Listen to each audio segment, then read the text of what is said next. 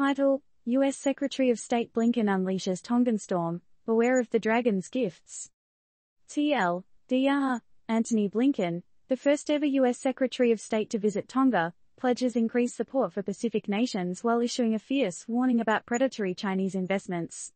As Washington intensifies efforts to counter China's growing influence in the region, Blinken dedicates a new embassy in Tonga, emphasizing their commitment to the Indo-Pacific.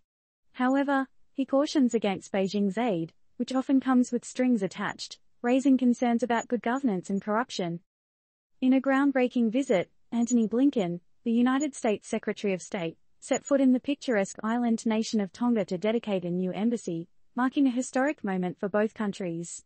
As the first U.S. Secretary of State to visit Tonga officially, Blinken conveyed unwavering support for Pacific nations, acknowledging their shared future in the Indo-Pacific region. Speaking to his hosts in Nuku'alofa, Blinken emphasized the significance of tangible projects that can genuinely impact people's lives. Issues like climate change, development, and illegal fishing were highlighted as top priorities for cooperation between the US and Tonga, aiming to strengthen their partnership and mutual understanding. However, amidst the warmth and camaraderie, Blinken issued a sharp warning about China's actions in the region. He raised concerns about predatory economic activities and investments that may undermine good governance and foster corruption.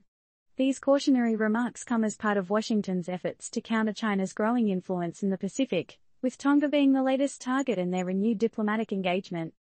While Tongan Prime Minister Hakaepamela Kusiasi Sovaleni welcomed the shared respect for democracy, rule of law, and the rights and freedoms of others, the US's diplomatic push in the region is evident.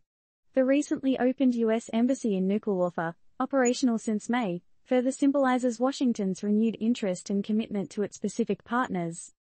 Anticipations surrounds Blinken's upcoming destinations, with Wellington, New Zealand, and Brisbane, Australia, on his itinerary.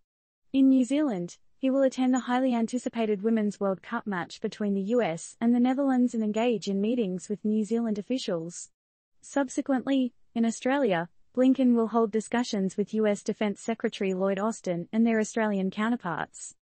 This Tongan adventure marks Blinken's third visit to the Asia-Pacific region in the past two months, reflecting the United States' heightened focus on this crucial part of the world.